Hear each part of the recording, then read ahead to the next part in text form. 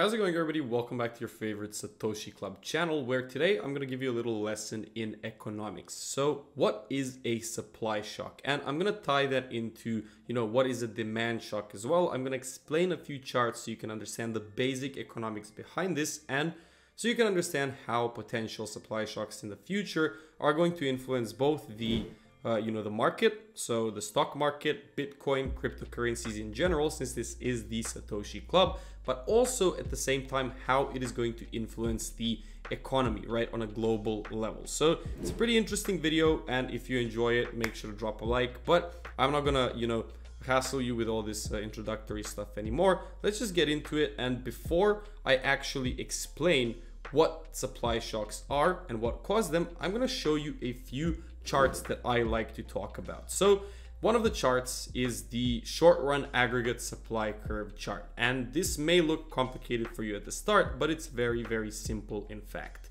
You have the aggregate demand in the economy, which is the sum of every single demand in every single sector out there. So I have a demand for goods and services, right? Some of the goods that I demand that are very uh, inelastic for me are water and food, right? Water and food I'm always gonna have to buy, so I have a demand for that. Other people in the economy may have demand for cars and uh, you know trucks trains, uh, airplane tickets, anything that's in the economy that's a product or service goes into the aggregate demand curve. And the aggregate demand curve, how it's actually uh, construed, is it's downward sloping because as the price of a product increases, the demand for the product increases. So, uh, sorry, the, as the price increases, the demand decreases. So that is why price is on right here and the demand is actually right here or the supply on an aggregate level. And as you can see as price increases as we're moving left on the chart the demand level actually uh, decreases. So if that makes sense for now let's move on to the supply side. So on the supply side the supply is the sum or the aggregate sum of every single supply in the economy. So that could be supply of wheat, supply of food, supply of water, supply of absolutely everything. And supply can be messed around with by natural disasters, by economic events, by geopolitical news and events, and this can cause shifts in the supply curve. So now that you understand how the supply curve is formed, which is the sum of all supplies in the economy, and obviously as the price is lower, right, the supply will be lower because suppliers won't be willing to supply a product at a low price. But as price of the product increases, the supply of these products also increases as well because suppliers can make more money, hence why the supply curve is upward sloping. So what we can see right here is an example of a positive supply shock. So what happened right here is that the supply curve, or the short run aggregate supply as economists like to call it, actually shifted towards the right. And what does that mean? It means that there was a shock in supply. But it's a positive shock. Why? Because the price actually decreased on an aggregate level. So as you can see, price was at this level right here. Now it is at this level right here and the demand actually increased. So as a result of, for example, a subsidy from the economy that we're in. So if the government subsidizes, for example, agriculture and allows them to produce at a slightly lower price, that would be an aggregate supply shock where the supply would actually increase and the quantity demanded would increase as a result and the price would decrease, right? But on the other hand, we have a shift to uh, the left of the supply curve, which would be a negative supply shock, which would be, for example, if uh, you know, there's like a natural disaster or a tsunami or a hurricane or something that wipes out a lot of crops, and at that point, supply would decrease. And as the supply decreases, the price is naturally going to increase, and quantity demanded is going to decrease, right?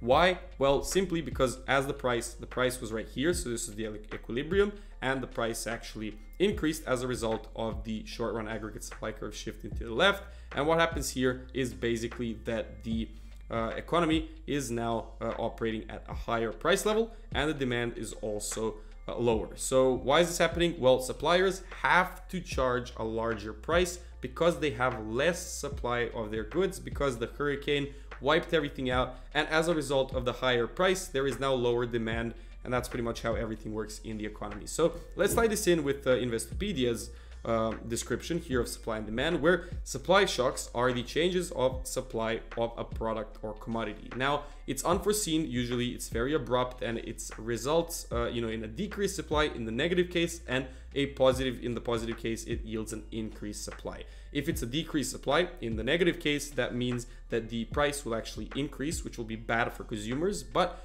uh, on the other hand, if it's a positive supply shock and the prices uh, you know decrease, is going to be good for consumers because the price is cheaper. Now, key takeaways: we have the changes of supply of a product or commodity. A positive supply shock increases output, causing prices to decrease.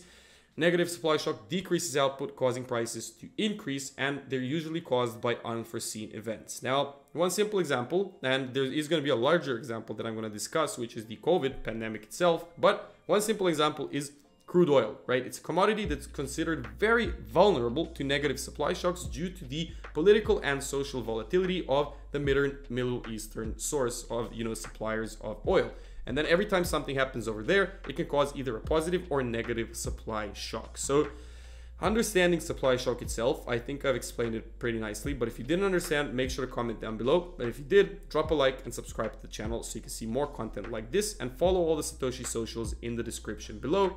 But let's see some examples of a supply shock itself. First and foremost, we have a positive supply shock for competing firms, right? Where Glencore announced in September 2015 its plans to close two major copper mines in Africa, removing 400,000 tons of copper from the global output. So what happens when you remove 400,000 tons of anything from the supply chain? That means there is now less supply, which means that the price is going to increase just like we applied on this chart. And when there's less supply and the price increases, this is something that suppliers can benefit from, but uh, people who are actually buying it do not benefit from it because the price is now larger. And what happened? Well, these guys actually did it and made the decision because there was a prolonged slump in copper prices. So copper prices were moving down and they said, okay, we're going to cut the supply a little bit, create a supply shock so that the price is restored back to equilibrium once again, where, you know, competing firms can have some sort of a, uh, you know, better price when it comes to supplying copper. So that's one of the positive you know supply shocks. And when it comes to the negative ones well for example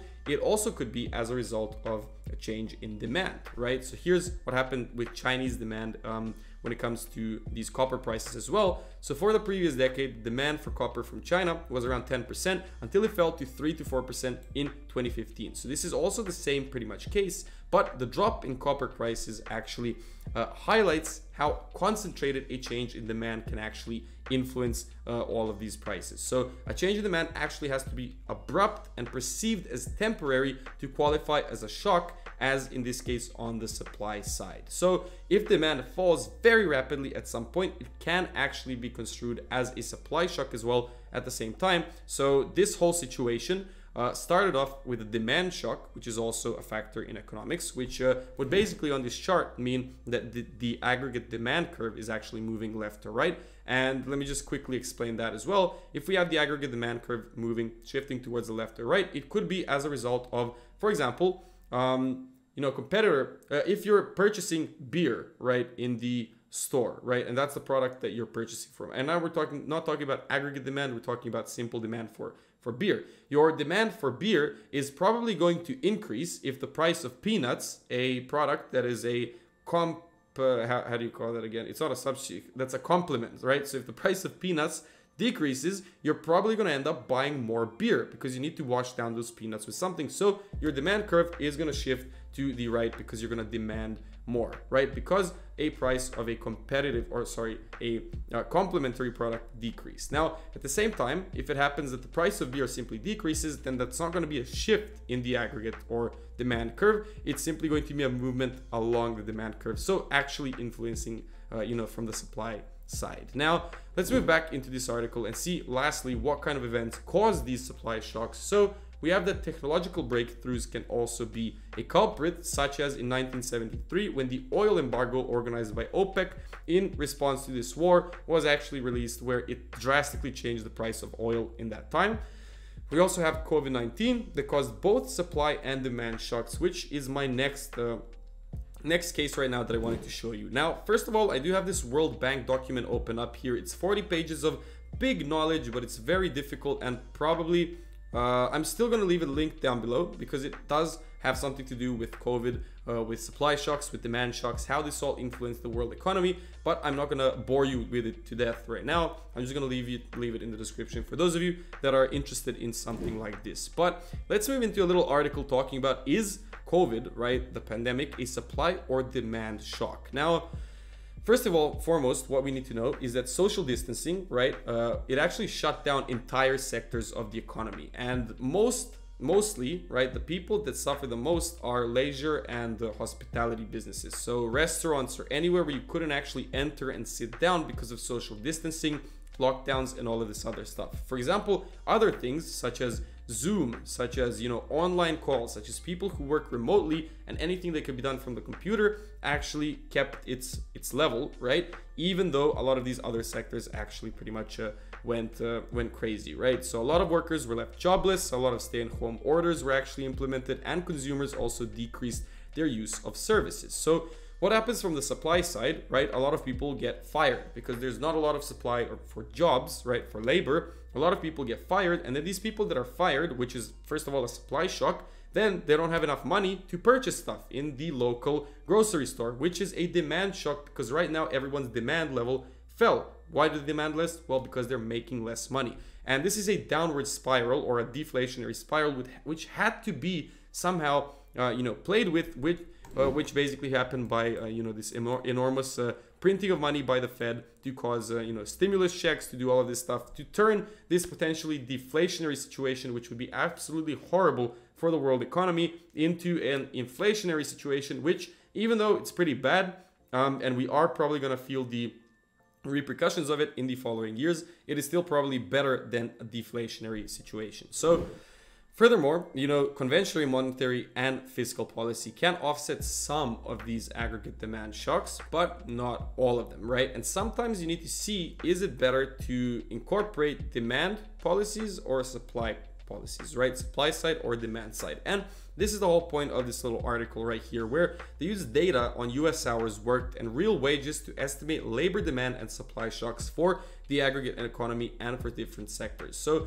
the reason why I'm showing you this is because you know you probably should have a look at a chart like this here and there because it is pretty interesting and representative of what was actually happening on the economic side in the US during the time of COVID. So what we can see right here is demand, which is in blue, and supply, which is in red. And we see negative percentage points right here. So how growth hours worked by sector were influenced due to the COVID pandemic. So first of all, we have top uh, total private employment, right? Two thirds of total private employment was influenced from the supply side because companies didn't have money to keep their employees in business and just fire them. One third was by uh, the demand side, right? Why? Well, because you know people didn't have enough money and were scared to use these services that top private employment firms actually provide. And then from the demand side, uh, you know they saw drop in demand, but also you know the drop was actually larger from the supply side. We see the same for mining and lodging, where it was mostly supply side, right?